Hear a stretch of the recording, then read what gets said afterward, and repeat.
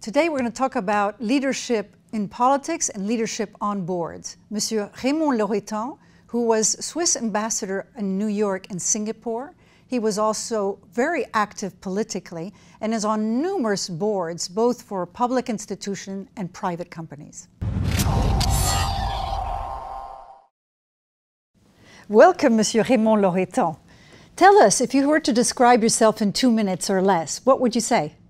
Well, basically, I'm a diplomat by training. Uh, we, who went out of his comfort zone into politics, into economy. And today I would say I'm an, I have an holistic approach of life.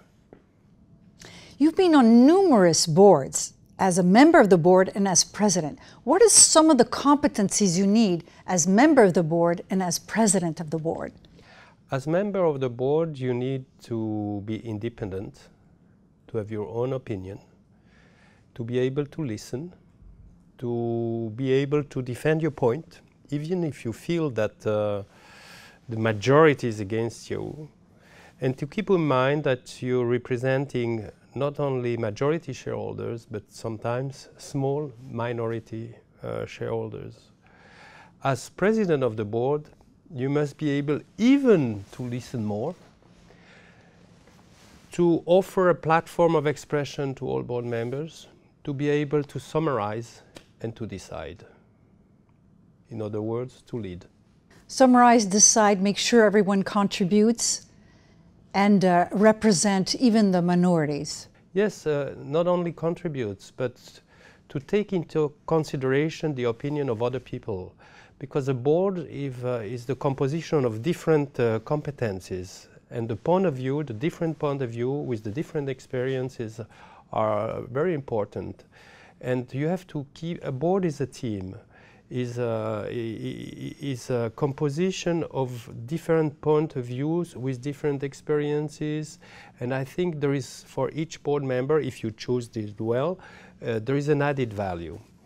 But as a board uh, chairman you also have to keep this balance between the interest of uh, the shareholders through the board members and uh, of the long-term vision of the company, including the opinion of the um, senior management, which is sometimes not the same than uh, some short-term interest of uh, shareholders, for example. So sometimes you're a mediator and a negotiator between two parties?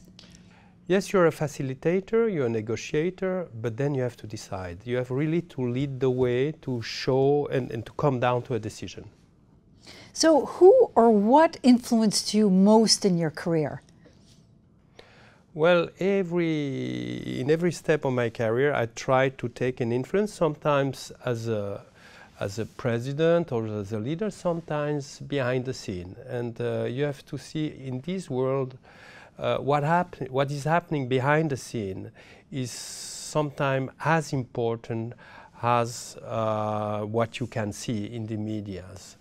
Uh, one of the person who had the largest influence on me was the former Secretary of State, uh, Swiss Secretary of State, Edouard Brunner, who told me um, uh, the most important thing in life is um, to agree on your arrière-pensée, you say in uh, French, in your second thoughts. Mm. Agreement between second thoughts is very important. I see. So be in alignment with what you think inside and outside. Is that right? Yes, and with long-term vision and to align the interest, to find common interest. Then when uh, your individual interest is also the common interest, you're on the right way.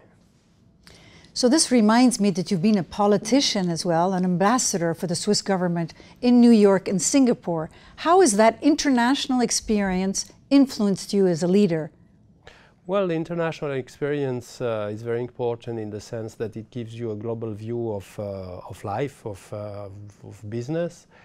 First of all, it keeps you aware that uh, in the world there are different uh, approach to values. Uh, that what you think in Europe is not right in other part of, of, the world. That there is different viewpoints And secondly, it gives you also the ability to take uh, and to negotiate with uh, people with other mentalities, and which is, I think, very important.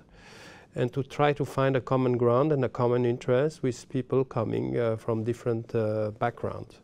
And I think as Swiss, we are privileged in this sense that uh, we have different min minorities here in the country, and uh, we are used to, to work on, on common goals and compromise and re respect of minorities and it works the same in the world. And to have an experience in other culture, like in the Asian culture or in the American culture, is very interesting. So this reminds me too that you were president of the Swiss Broadcasting Corporation, uh, president of the board. Tell us a little bit about how this experience helped you in that situation, where do you see the media going in the future. Well, first of all, uh, public broadcasting in Switzerland has a special place because uh, it keeps or it helps to keep the the national cohesion, to keep together a country with four different languages, uh, three different identities. Uh, um, when you look at Switzerland, you think it's a success story and everything is coming easily, but it's not true. We have to really work on it and to find compromise. And the public broadcasting helps to keep this culture uh, together.